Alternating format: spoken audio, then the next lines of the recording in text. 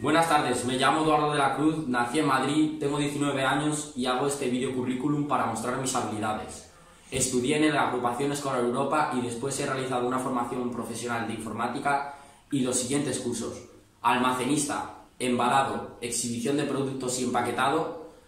También tengo experiencia como pintor en una empresa familiar. He trabajado de mozo de carga y descarga, auxiliar de camarero y reponedor en el Eroski. Me considero una persona con mucha capacidad de aprendizaje, trabajador, activo y responsable. Espero que este currículum sea de su interés, que aquí tiene mis datos por si quieres contratarme. Un saludo y espero veros pronto.